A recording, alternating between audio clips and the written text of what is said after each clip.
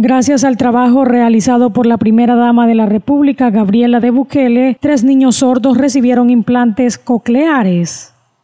Y esta mañana, por primera vez, ellos van a recibir un primer estímulo auditivo, ¿verdad? Eh, el cual posteriormente se va a transformar en sonidos y van a ingresar a un proceso de rehabilitación intenso en nuestro ISRI, eh, de nuestro Centro de Audición y Lenguaje. Esto es gracias al compromiso fuerte de nuestra primera dama en apoyar el tema de la rehabilitación auditiva, del cual ella tiene mucha experiencia y mucha capacidad en el tema. Así que ella ha estado de primera mano en todo este proceso desde un inicio.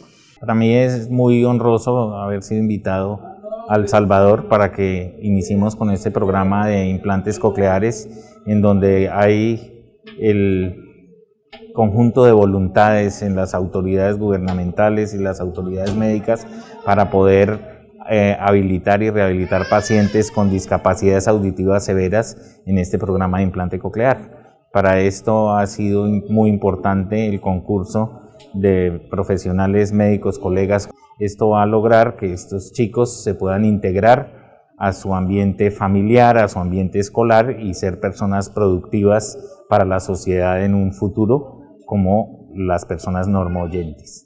Los beneficiados son menores de 3 y 4 años respectivamente, quienes se sometieron a cirugía el pasado mes de julio. La operación fue realizada por especialistas del Hospital de Niños Benjamín Blum.